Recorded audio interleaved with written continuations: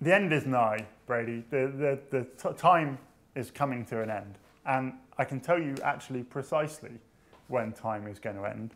It's going to end at 3 a.m., 3.14 and 7 seconds on the 19th of January 2038.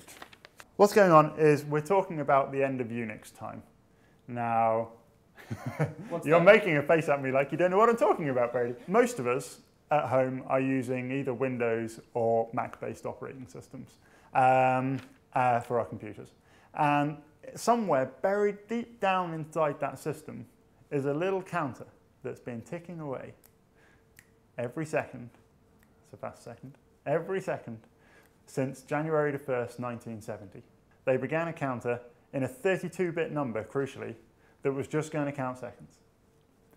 And obviously, because it's only a 32-bit number, it's going to run out at some point. That is the point. This is the moment when that number runs out of seconds to count. This is how your computer is telling the time. This is how your computer is keeping the date. So you can take this number, the number of seconds, and you can divide it uh, and keep dividing it and keep dividing it to get back to the number of minutes, hours, days, years that have passed since January the 1st, 1970. So this is what's called the Unix epoch. Now the reason I keep talking about Unix is because way back then there was, there was this operating system called Unix um, which was just beginning to really take a hold in corporations and really mission critical systems. The point is, in every single one of those mission critical machines, there's a number ticking away, counting the seconds, and it's ticking towards January the uh, 19th, 2038, when it's going to run out. And when it does, a very weird thing's going to happen. It's going to roll back to, I think it's December 1901. So in some ways it's great because it's an opportunity for us to, to redo the 20th century and maybe get it right this time. Um, but in other ways, it's going to be absolutely catastrophic because it's, it's a lot like the Millennium Bug. So some of your viewers were too young to remember the Millennium Bug, but but those of us that were there, the Millennium Bug was a problem when we were storing the date as a two-digit number in a lot of computers, uh, mostly back in the 80s.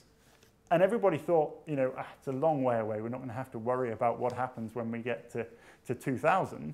But it, it, just turns out that once you've got a computer that works, say if you're in a bank or if you're, you know, uh, running an airline, you have a system that works, it costs too much to bother changing that. So things get left just working for years and years and years.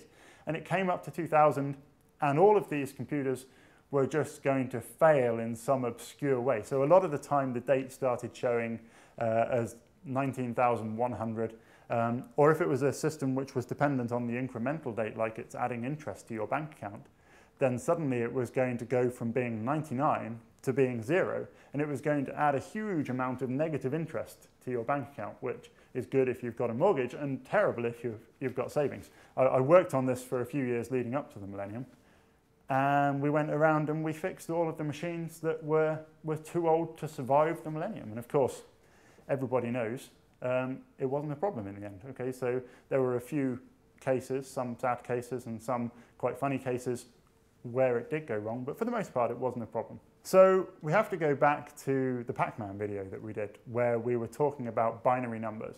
And in Pac-Man, we were storing that binary number as an, an 8-bit binary value. And that meant that it could count up to a maximum of 256. Now, it's a choice. It's either a maximum of 256 and a minimum of zero, or a minimum of a minus 128 and a maximum of 127.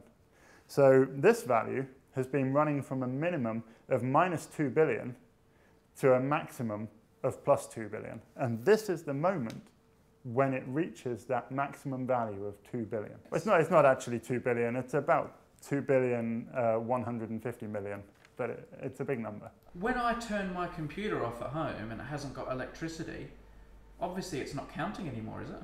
It's not counting anymore, um, but there is a battery inside um, which is storing its current state. So it depends on how your computer's set up. Some computers are set up to connect immediately to the server and get the current time, just to make sure that all of those computers are synchronized across the network. Other computers, like your home computer, uh, are set up just to read the date or the time from a memory chip, which has been keeping it stored with the CMOS battery.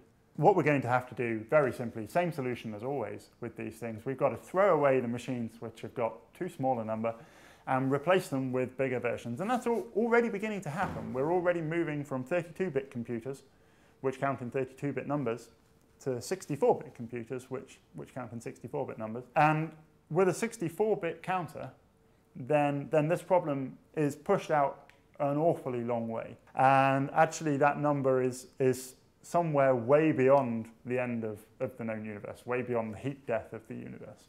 Is it going to be a date when everyone's worried, do you think? Do you think this is going to be panic stations when this time comes? Yes, I think there'll be a problem because I remember being in a bank in 1999, it's quite a long time ago now, and looking at the oldest computer I had ever seen and somebody saying, oh, that's just our payment system. And, you know, it just worked. You know, they, they used that word, just. And nobody had ever thought about it. And I had to look at that machine and say, well, you know what, your payment system's not going to work next week. We need to fix that. And I don't doubt for a second that there will be 32-bit computers sitting in the corner of some dusty bank, building, society, or airline, or whatever, in 2038, and they're going to just go wrong. And all of those bookings for your holiday in Malaga are all going to be erased in some horrible way. So I, I don't think it's going to go wrong in any life-threatening manner, but yeah, there'll be some comical errors. And certainly for people like me who know how to fix this problem, there's a great opportunity to, well, this is my pension we're talking about here.